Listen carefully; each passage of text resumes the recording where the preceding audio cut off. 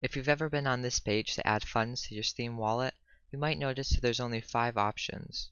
If you wanted to add a different amount than these five options, then it looks like there's no way to do it. But I'm going to show you a way right now on how to add any amount you want.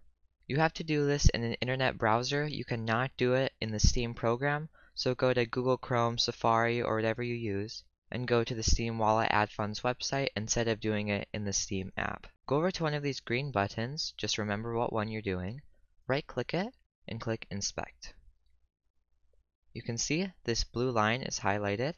If I go to the line above it, we can see green-white innerfade, data amount 500.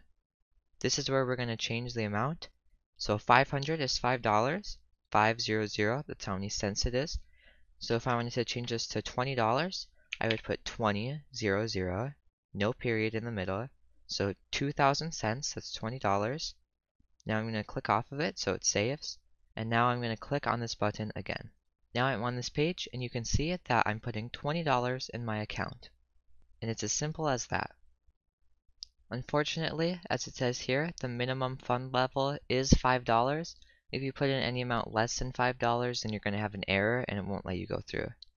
That's it. If this helped you, please leave a like and consider subscribing. Thank you.